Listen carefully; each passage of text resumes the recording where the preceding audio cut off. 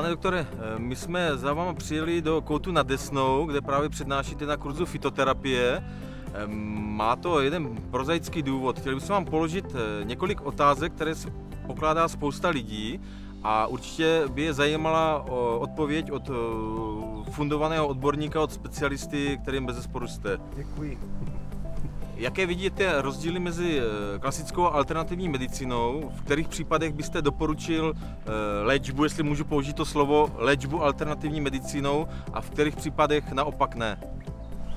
Tak odpověď je v dnešní době poměrně jednoduchá, protože ta, ta, klasická, ta klasická medicína, která se vyučuje na, na univerzitách a která se praktikuje ve zdravotnických střediscích, nemocnicích a podobně, tak samozřejmě je nezastupitelná a má obrovský význam, protože pomáhá nejenom léčit, ale vylečit celou řadu skutečně vážných záležitostí, takže prakticky celá chirurgie, celá, celá operativa spadá tedy do oblasti klasické medicíny.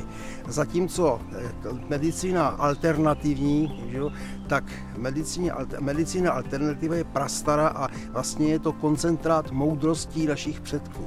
Na naší klinice Centra preventivní medicíny jsem prosadil eh, velice dneska pořád ještě vzácnou, ale velmi prospěšnou fúzi nebo symbiózu té oficiální, té klasické medicíny a té, tomu, čemu se říká alternativní. A protože my víme, že alternativní medicína se v uších našich kolegů z různých oborů, to zní jako červená nabíka, to se nedá, tak používáme výraz, jsem si vymyslel výraz, že to je aditivně komplementární medicína, čili medicína, která doplňuje těmi prostředky tu klasickou. Ten koncept, nebo tato koncepce se nám velmi osvědčuje a naše klinika eh, Centrum preventivní medicíny opravdu nasazuje a používá oba tyto systémy. Takže například u nás, když se dělá, dělají léčba žilných onemocnění a léčba i lymfatického systému, tak tam, kde je to potřeba, tak se používá ta chirurgie, samozřejmě ta je nezastupitelná, ale současně se doplňuje, doplňuje těmi aditivně komplementárními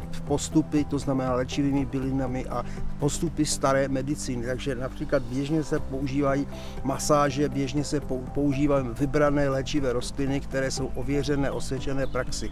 Protože my chce, chceme, aby ta, to, to, to, ty moudrosti našich předků, které jsou zde koncentrované, tak aby nepřišly v Niveč a, v Niveč a aby mohli, aby mohli pomáhat, protože vidíme jednu věc, že ty zásady a postupy a metody a, pra, a prostředky, tak ty aditivně komplementární, se tedy alternativní medicíny, jsou svým způsobem nezas také nezastupitelné a dávají těm lidem opravdu velice mnoho. Navíc je tady jeden veliký, velice důležitý aspekt psychologický.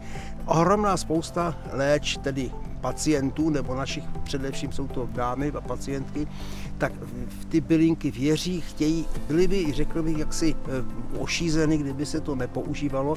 A hlavně tady se otvírá velice široké pole, protože po tom, co je oficiální medicína dá dohromady, co jim vrátí to základní zdraví, tak ta aditivně komplementární medicína jim dodá to navíc. Takže já bych to ještě zjednodušil v dnešní počítačové době, bych řekl, že ta, zatímco ta medicína oficiální, nebo chcete-li ta klasická, je medicínou hardwareovou, čili opraví ten hardware, ty trubičky v těle a podobně, tak ta aditivně komplementární nebo alternativní medicína je medicínou softwarovou, že opraví ty programy. A my to vidíme, chápeme tak, že já to samozřejmě taky tak i prezentuji a přednáším, že jsou to rub a lícté že mínce, že nebudeme, nebudeme samozřejmě chtít léčit zánět slepého střeva pomocí nějakého jenom homeopatika zbyteč z jednoho, ale samozřejmě nebudeme chtít léčit dlouhodobý újmu na zdraví jenom prostě chirurgickým nožem, tam, kde to léčí.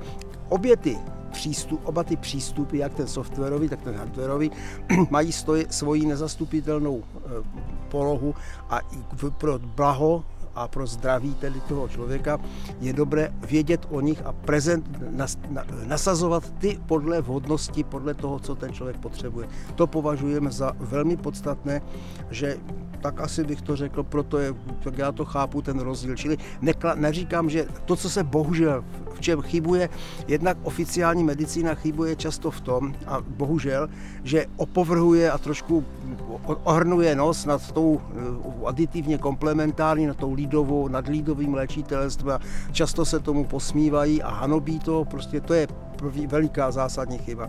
Ale stejně zásadní chybou, a s tím jsem se moc krát na svých přednášek za ta, za ta léta setkal, že třeba mnoho jinak výborných eh, léčitelů, čili prezenta, ti, kteří prezentují tu aditivně komplementární alternativní medicínu, tak prostě vlastně hanobí a tupí oficiální medicínu a prostě nazývají těmi jako lékaři ošklivými jmény a vzniká úplně jenom na základě vzájemného nepochopení, vzniká nesmyslný, nesmyslná mm, roz, pauza mezi nimi, vzniká mezi nimi eh, eh, před, přehrada, která je zhola zbytečná, protože skutečně osvícení lékaři, tak stejně i osvícení mm, lékaři přírodní k sobě mají velice blízko a setkal jsem se s radou.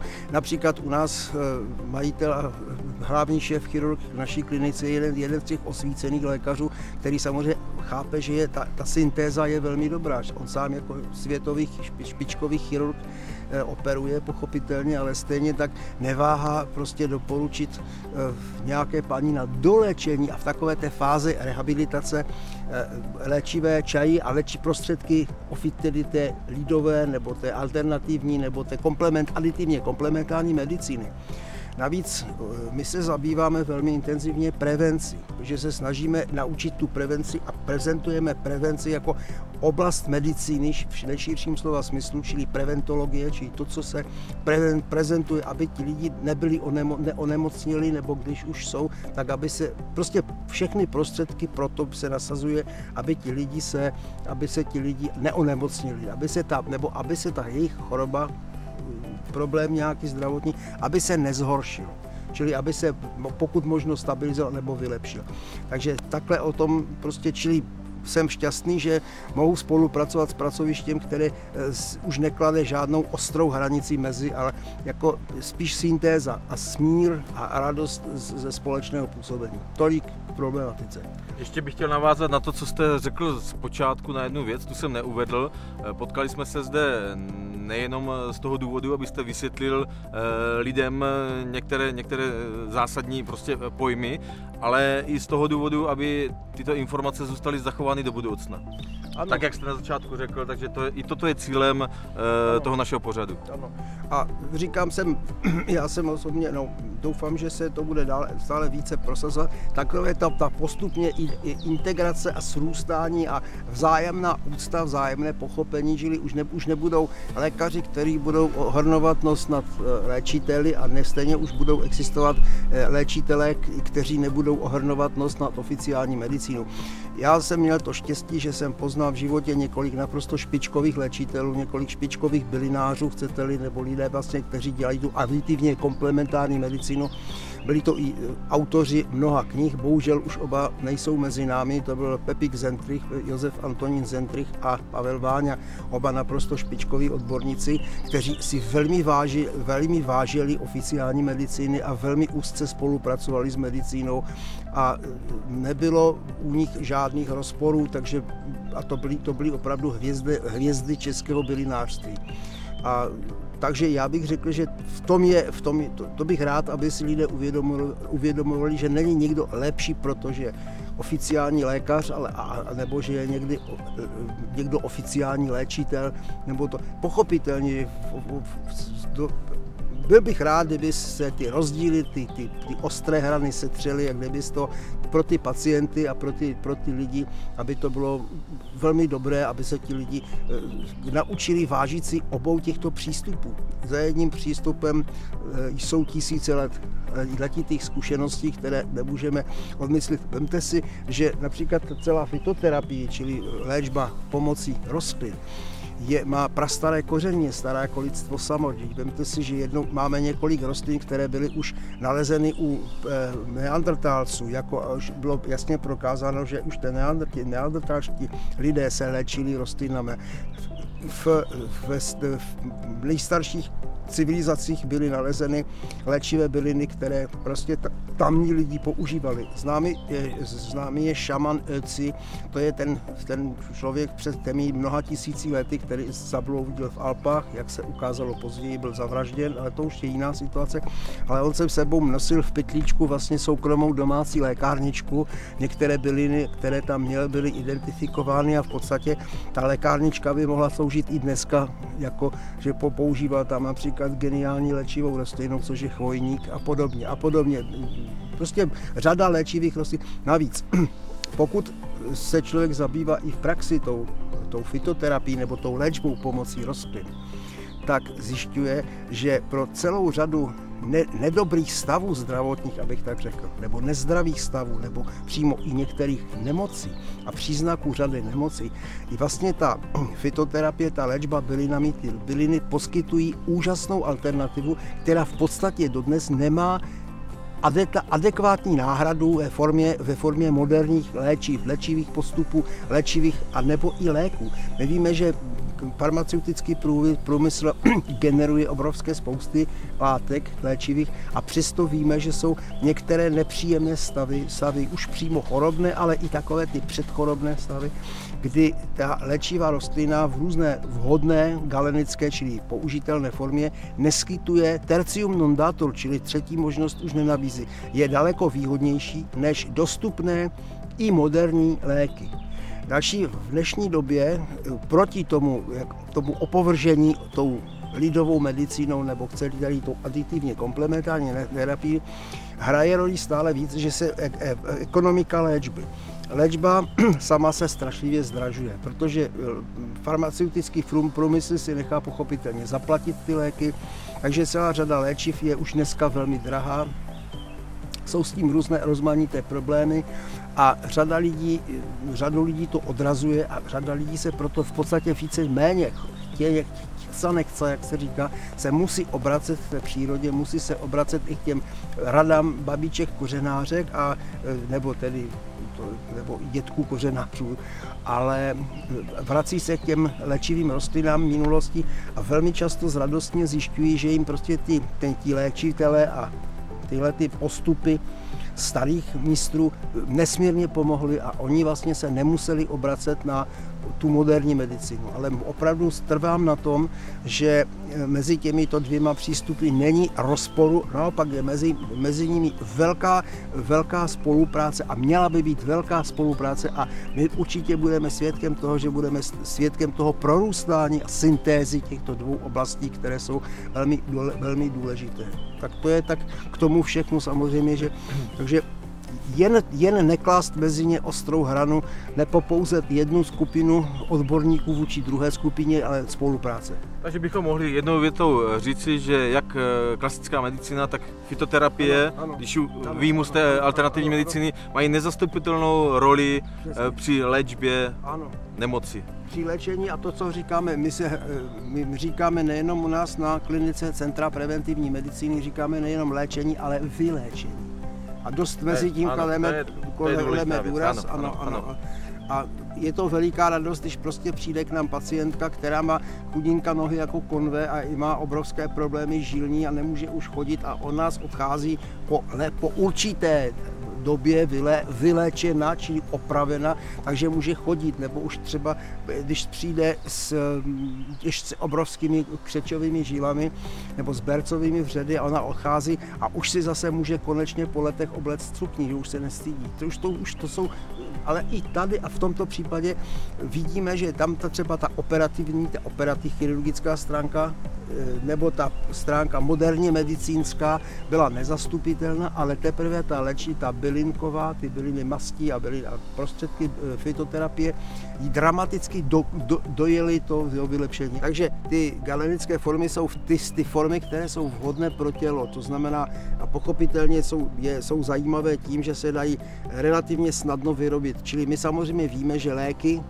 oficiální, jsou nejčastěji ve formě perorálních tablet nebo kapek nebo tinktur nebo podobně e, vnější prostředky mastí, tinktury a podobně z namazání a e, takže jste, vlastně tam ta oficiální medicína a, ta, a ten aditivní komplementární medicína používá eh, podobné postupy, že jo? protože eh, konzumovat třeba léčivou rostlinu syrovou nebo jinou nespracovanou je mm, velmi těžké, obtížné a někdy nemožné. Těžko můžeme ukusovat nějakou rostlinu živou, jako pojídat, jo. ale můžeme se ji upravit už třeba ve formě špenátu, ve formě polívky, nejčastěji daleko ve formě bylinného čaje, bylinného extraktu, tedy bylinné tinktury a tady těch možností nebo nálevu, nebo těch postupů je celá řada. Čínská medicína eh, samozřejmě prezentuje, prezentuje všechny tyto formy, stará čínská, indická, bych nesmím zapomenout na ajurvédu, a, ale oni jsou i ty jiné, ty medicínské přístupy těch e, přírodních národů nebo jinak vyvinutých civilizací, abych byl upřesný, protože třeba takový Inkové a Májové nebyly zase tak úplně přírodní národy, to byly civilizace velmi vyspělé. A dneska, když čím víc víme o těch jejich medicínských přístupech, tím více obdivujeme a tím víc vidíme, jaké oni měli úžasné výsledky a jaké měli úžasné věci už s tím, s čím pracovali. Čili ten sortiment léčivých prostředků obecně se nám dramaticky rozšíří tím, že nebudeme bazírovat na to, aby to byly oficiální léčiva, jenom která jsou teda generována farmaceutickým průmyslem nebo oficiální medicínou, ale že je rozšířený také o to, co ty, co poznali staré civilizace a co nám nabízí i ta matická příroda. Velmi často je zajímavé v tom, že prostě lidé si taky velmi rádi, že tady vlastně ta fitoterapie nebo že tahle ta léčba, ty, ta přírodní medicína a to aditivní komplementární terapie umožňuje rozšířit tu medicínu na takzvanou autoterapii, protože ohromná spousta lidí, to, to, to vidíme i na klinice preventivní medicíny, spousta lidí by ráda jako do, do toho procesu léčení zasahla sama, že by ti lidi sami si dělali dobře, sami prostě by něco užívali, něco by si natrhali, něco by nějak by se léčili, sami polečovali. A vhodné je právě, když mají odborné vedení a mohou si, mohou si bez, bez stresu eh, sami třeba něco v té přírodě nazbírat. Navíc to má další léčebný a psycho, psychoterapeutický efekt, že ti lidé, tyto, tyto dámy většinou jsou to ale i bánové občas, jdou do přírody a už je to nutí jít do lesa, do, přírody, do obecně do přírody. Po případě si tam něco nazbírat, nebo něco si na zahrádce napěstovat, pak se radovat z toho, jak to zpracovávám. Čili vlastně tam, tam navíc získávám, navíc ještě tu, tu, tu entitu eh, duševní nebo duchovní, a prostě je to, je to něco, co pro tu, pro tu dušičku toho člověka je to velice, velice dobré, že stejně jako člověk potřebuje jezdit vlastním autem a nemůže spolhat jenom na e, městskou hromadnou dopravu, na autobusy, pochopitelně. Tak ono tady u toho je to tak trošičku podobné. Jo. My se zabýváme výrobou lihových tinktur. Mohl byste nám popsat, eh, jakým způsobem eh, se vstřebává lihová tinktura v organismu a jak eh, organismus využívá ty vstřebané účinné látky? No tak lihová tinktura nebo tinktura, čili tinktury vlastně v, to v principu už, se, už to je obsaženo v tom názvu lihová. Tinktura je vlastně především lihová, to znamená je to výtaž, lihový výtažek, léčivé rostliny, či její výroba je v principu jednoduchá už od pradávna, čili léčivou rostlinu, takovou makovou, extrahujeme či roz, rozpus, rozmělníme a extrahujeme, vyluhujeme z ní kvalitním etanolem, nikoli metanolem, čili kvalitním lihem pochopitelně. A e, zase a, tato, a tento výluch, tento, tento výtažek z té rostliny se používá k vlastní terapii a vlastní léčbě. No a to je princip celé ukladnění těch tinktur. Samozřejmě to můžeme tím lihem, tím lihovým výtažkem, můžeme také používat ho zevně, čili mazat, dává to na hlavu, ale hlavně se ho používá ve, ve, ve formě pití, teda ve formě pitné. No a tady je pochopitelně několik aspektů. Za prvé, jestli zpracováváme ten tu léčivou rostlinu, jestli zpracováváme léčivou rostlinu usušenou a suchou nebo, nebo úplně čerstvou, to, to, má, to se liší, to za chvilku řeknu, čím se to líčí, lé, léčí, čím se to liší. Za další je to, jakou koncentraci etanolu, čili lihu použijeme. Je veliký rozdíl, jestli budeme rostlinu extrahovat 20% kořálkou, nebo 60% nebo 80% nebo stem. Tam se to eh, velmi jednoduše liší od toho, že na, čím je ta rostlina bohatší na aromatické vodě, ve vodě špatně rozpustné nebo ve vodě nerozpustné látky, tak abychom z ní vy, vy, vy, vytáhli, doslova vycucli, extrahovali všechny účinné látky nebo co nejvíce účinných látek, tak je tím výhodnější je použít k extrakci koncentrovanější, vysoce koncentrovaných alkoholů, někdy až 80 až 95% eh, eh, látky.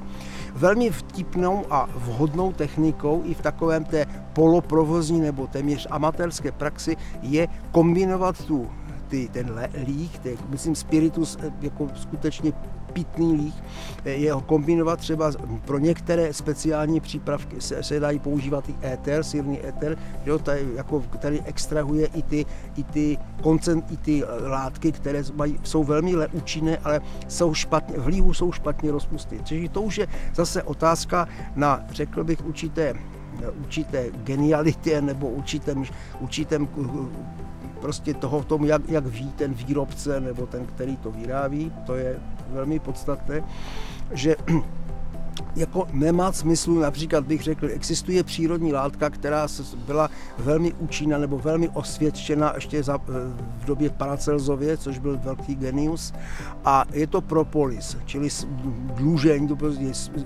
je to prostě prostředek přírodní, které vyrobí včely, který má obrovské, eh, fyto, obrovské účinky léčebné, eh, propolis vlastně včeličky vyrábějí, je to nic jiného, než že za nás sbírají ty, ty špatně rozpustné látky z stopolových pupenů, z jiných, hlavně z pupenů, eh, které jsou nesmírně léčivé a ty včeličky ho pak zpracují a oni vlastně ho používají jako svoji přírodní antibiotikum, jako přírodní antibiotikum.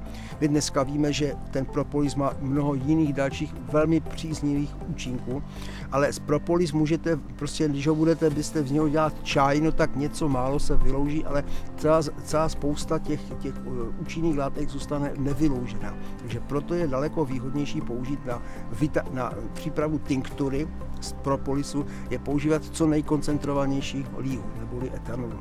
A pak už se samozřejmě můžou být i ty postupy, ty galen, tomu se říká galenická farmacie, to znamená galenická, galenické zpracování těch, to, to, těch výtažků se liší podle toho, jestli to ještě budete při, to, při tom e, procesu zahřívat, nebo jestli si to nebude zahřívat, to už říkám záleží na, na konkrétním problému, konkrétní léčivé rostliny, konkrétním prostředku, nebo například máme další přírodní léčivo fenomenálně úspěšné a to je mumium. To bylo jeden čas velice populární, potom přišlo k tomu, že po, po roku 1990 přišel na náš trh spousta falšovaného mumia, tož fa, fal, falešníci falšovali. Údajně litým asfaltem se to falšovalo? Ale ono se to včepovalo, oni to hlavně vyráběli z hnoje, já o tom toto vím. A, takže ono to sice strašně smrtilo, smrdilo, bylo to slané a bylo to každému špatně, ale to, nebylo to s tím mumiem, to nemělo co dočinění. Ale nicméně, ta mumium je třeba skutečně léčivo přírodní, nesmírně účinné s, ohromnou, s ohromným spektrem, s ohromnou paletou působení, ale tam zase nemá cenu to extrahovat klíhem, protože to mumium je, mumium je daleko líp se extrahuje, vytahu, vytahuje se vodou. Další problém je v tom, že existují léčivé rostliny, velmi účinné, které obsahují například v těch svých šťavách, ex, extrahují nebo obsahují velmi účinné látky, to jsou ty, ty šťávy. A čili je, je třeba je vyloužit, vytáhnout z nich tu, ty účinné látky, tu účinné principy, jak říkali staří mistři, vodou nebo tepou vodou. Takže například obecně můžeme říci, že čím je ta rostlina vodnatější, tak tam je vhodné extrahovat to vodnými roztoky nebo i s slabými, slabým lihem podobně. Takže jsou některé tučnolisté rostliny, například znáte, všichni znají aloe, agave nebo netřes našich rostlin, tam se může použít i těch výluhů nebo nálevů vodných, ale říkám, otázka, je to, je to opravdu na, nebo nadmutice a tak dál, že je, je, je to na volbě toho autora toho přípravku, toho, kdo to extrahuje. To je první aspekt. Druhý aspekt potom je pro, pro člověka, který to vyrobí, vyrábí, nemyslím jako promyslově, ale prostě to připravuje, tak aby mu ten výlužek, výtah a vý, výluch a výtah, aby mu vydržel, aby se i hned neskazil, protože eh, na tom výluhu a výtažku si velmi ráde, zejména u těch vodních, a z těch, nebo těch, které se extrahují vodnými rostliny a především už i třeba hodně slabými eh, koncentrace lihu, lihu, tak se to velmi rychle kazí. Velmi rychle rádo to splesniví z, z bakteriální. A je třeba s tímto výpátom ještě dále zpracovat, protože mnohdy se stane, že člověk vyrobí eh, vytážek, výro, tu tinkturu, která je ovšem tak slabá, teda co se týče koncentrace lihu, je tak slabá, že, ten, že by se mu to za chvíliku v té skleničce zkazilo a lidi by mu to hodili na hlavu, ti konzumenti, kdyby si to od něho vzali. Takže... Uvádí se, že lich má uh, autostabilizační účinek uh, do těch 25%. No. Pak, pak už uh, se skutečně může dojít k tomu, o čem jste mluvil. No, na, jako je, co je říčí, než... Pět, Pokud je slabší jak 25%, tak no, může dojít k tomu, co jste říkal. No, to už je, to, já bych řekl, že už co je slabší než 40%. Už často, uvádí už to je čas, no uvádí se to, ale v každém případě jako je daleko výhodnější třeba potom používat těch koncentrovanějších výtažků a spíš se je doředit potom domů. Ale to je, všechno je to otázka jednotlivých přístupů jedno, k jednotlivých bylinám. Čili právě u té, u té léči, u těch léčení léčivými bylinami ve formě tinktur je taky otázka versirovanosti vlastní zkušeností toho prezentátora, toho výrobce, chcete-li.